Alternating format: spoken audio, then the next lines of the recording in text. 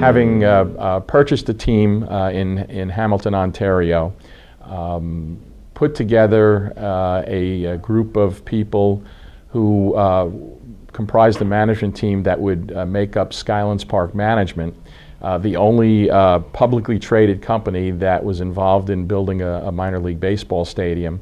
Uh, moving the team to New Jersey, calling it the New Jersey Cardinals, affiliated with, with St. Louis.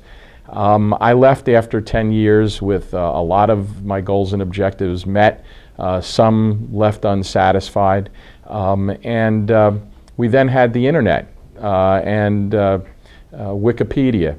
And having read some accounts of, of the events that had transpired over 10 years, I was somewhat dissatisfied with what was written.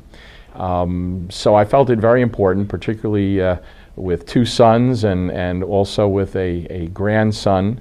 Uh, now I have two. Uh, it was important for me to tell my version of the story. And so, uh, to me, the most uh, uh, uh, effective way of doing that was to write a book. And I spent four years and a lot of research, and 800 pages later, we, we have The Circus Is in Town, A Baseball Odyssey. It, it really talks about um, post World War II uh, Americana, um, where uh, so many households uh, um, grew up with baseball as a big part of their history, um, particularly in the shadows of, of uh, New York City and Yankee Stadium.